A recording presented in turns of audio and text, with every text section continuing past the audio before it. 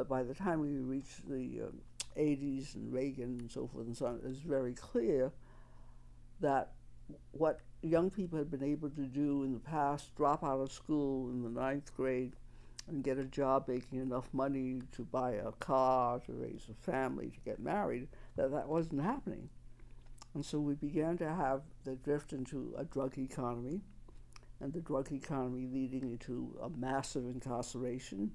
and a prison industrial complex, and that whole sequence of events, while people like Coleman Young, who were black leaders who were running the government, had the vaguest notion what to do, and finally by 1988 proposed that what we needed was a casino industry to take the place of the auto industry. And that's when we began to understand how profound this crisis was, because we fought him on the casino gambling thing,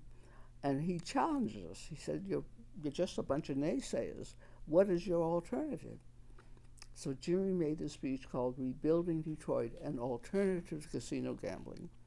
and began talking about how we have to think in terms of a more local economy, how we have to begin growing our own food, baking our own bread, and doing things to restore a, a concept of usefulness and productivity to our people, at the same time beginning to address questions like the energy crisis. I mean, the, the idea of a local economy today with a climate crisis makes a lot more sense to people.